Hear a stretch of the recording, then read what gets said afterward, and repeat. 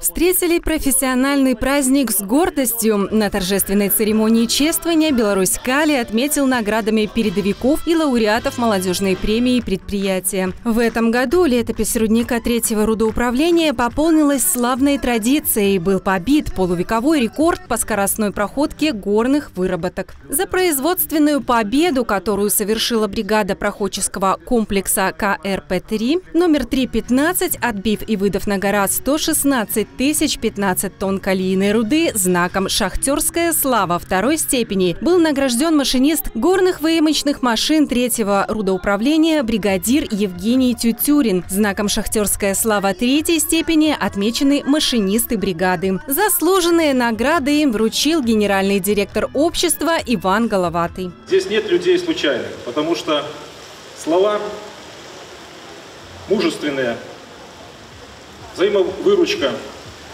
отвага, надежность. Это все, дорогие, про вас, про горняков, про тех людей, кого мы образно называем шахтерами, потому что сегодня это не только забойщики, это электрослесари и сварщики, и многие-многие специальности, которых мы подразумеваем под этим замечательным словом. И мне хочется, чтобы вы всегда гордились, гордились той профессией, которую выбрали. Чествование передовой бригады горняков продолжилось вручением почетных грамот общества и благодарности Солигорского райисполкома. В церемонии награждения принял участие глава района Андрей Жайлович. Молодежь во все времена всегда была, остается и будет основным двигателем любого хорошего дела. И шахтерская профессия, как всегда, и здесь впереди всех.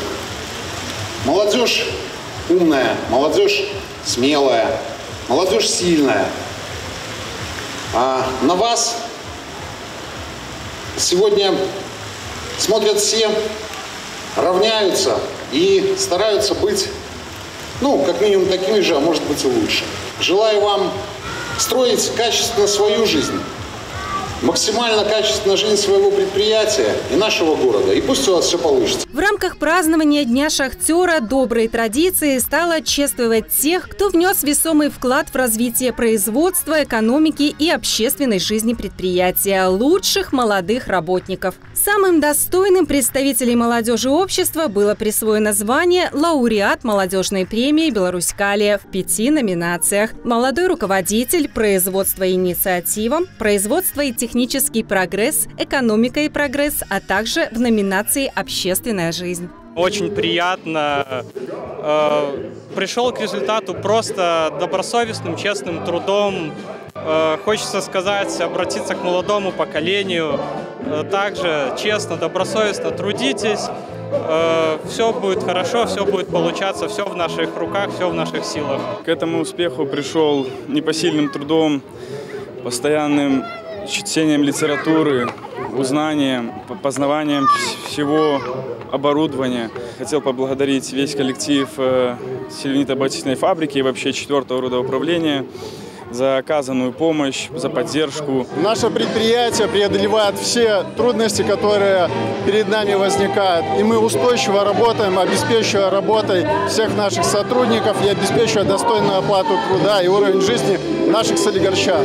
Я пожелаю нашему предприятию и городу Солигорску благополучия и процветания. Культурная жизнь у нас на предприятии наверное, охватывает максимально э, большое количество вообще всего возможного, что можно проводить. Э, все стараются максимально участвовать во всем, э, достигают определенных результатов, довольны я тоже. Я очень рад, что когда-то устроился в Беларусь-Кали и то, что здесь ну, я могу проявить себя. Организация общественной и культурной жизни на предприятии, конечно, важна. Молодежь может общаться, мы можем знакомиться, узнавать друг друга, что-то друг от друга перенимать, какой-то опыт. Очень много было мероприятий в этом году, спортивных, культурно-массовых.